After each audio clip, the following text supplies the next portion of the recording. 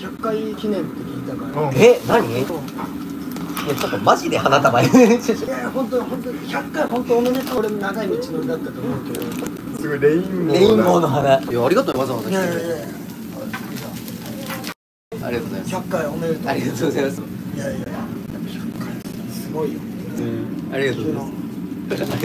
ありがとうございますごめんねこんなものしか言いやいやいや。全然なんか胸胸かな？胸がいっぱいちょっなんかこんなに満たされると幸せだねやっぱ記念日が大事と記念日とか忘れないタイプだもんね